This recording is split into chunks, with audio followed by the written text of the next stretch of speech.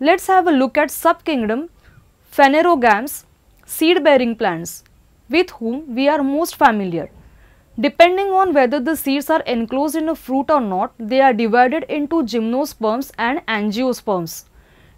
Division 1 Gymnosperms Gymnos is naked, sperms is seed. So these are called gymnosperms. The seeds of these plants are not covered by fruit.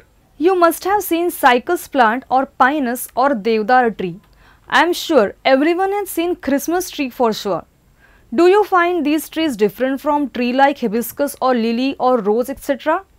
The gymnosperm trees like cycas look different. Their stems are without branches and the leaves form a crown. These are woody plants. Let's look at the most familiar group, angiosperms. You can prepare a long list of angiosperms for sure. Angiosperms are seed-bearing plants. Flowers bear the reproductive organs which develop into fruits and seeds are formed within the fruits. So these are covered seeds. Angio is cover and sperm is seed. Let's try this. Take maize, groundnut and wheat and soak them in water for 8 to 10 hours. Try opening the seeds.